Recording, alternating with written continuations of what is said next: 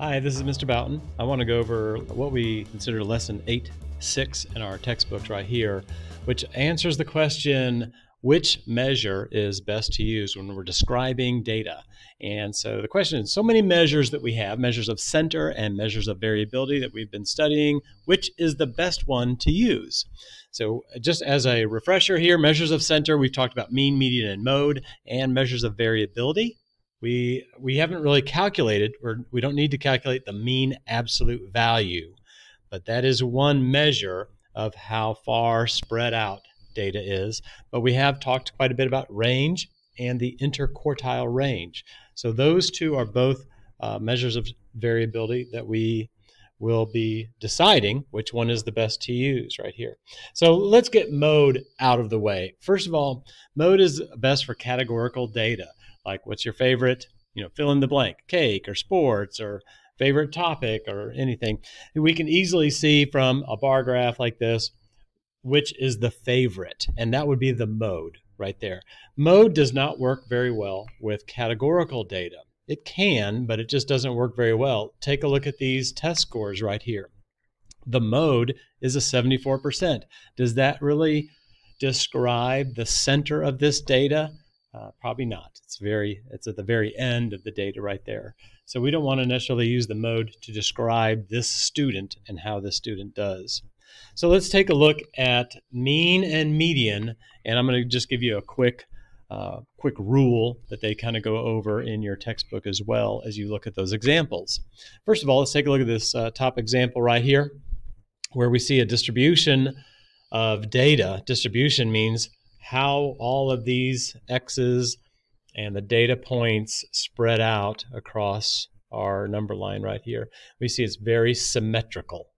Uh, and by symmetrical, I mean that one side looks pretty much like the other side. It's not perfect, it's not exact, but it's very close.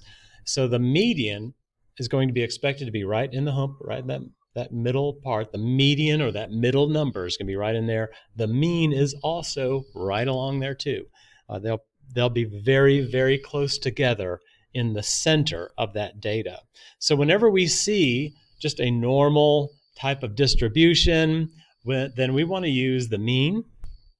And along with the mean, that's our measure of center, then our measure of variability will be the mean absolute value. So if we're using the mean for the center, then the mean absolute deviation is what we use to measure the variability.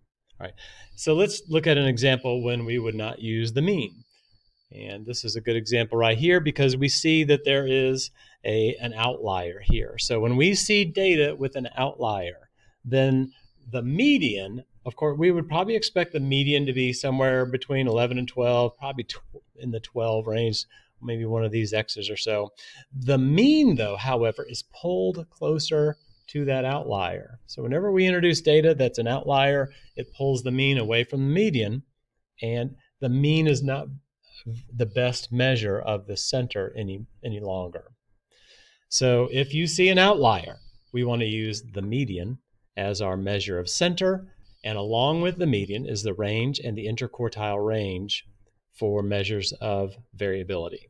Okay, that kind of makes sense because when we make a box and whisker plot, it includes the median, and it's very easy to do the quartile range, interquartile range, and we can easily see the range as well. So these go together.